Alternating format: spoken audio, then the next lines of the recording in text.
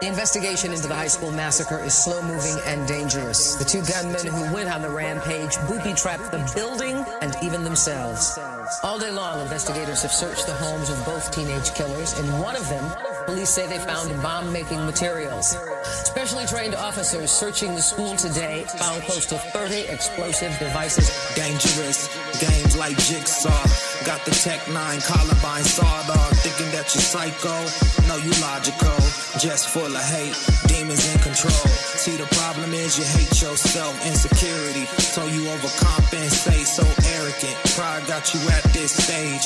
Putting on a mask like you acting on the stage. Overthinking. The mind is the battlefield. Holding on to thoughts that's toxic like a waste field. This is the therapist. This is your interview.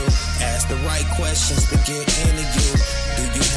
Swings on a regular? Can you control them evil thoughts that be popping up? Why do you feel this way? Why are you full of rage? Natural selection. That's what he had to say. Death to these speaking humans kill all humanity. He wanna see the world burn. Insanity. No, he's shame. Shame and rational. Possessed by hate. They call it radical. In a dark place, toxic emotions, claiming that they lonely. So in the moment, insecure yet they arrogant. Contradiction, seek help from a therapist, but they barely dead. Rampage, set the trend, but I'm finna give it up to the kids that lost their life, like Rachel Scott. Daniel got caught coming up the stairs. Dave Sanders saving children that was scared. In the library, Kyle Velasquez, rest in peace.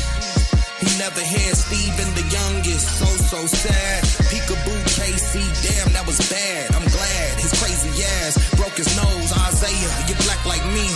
Cold. Prejudice, my condolence to the Shoels. The therapist, therapeutic to the soul.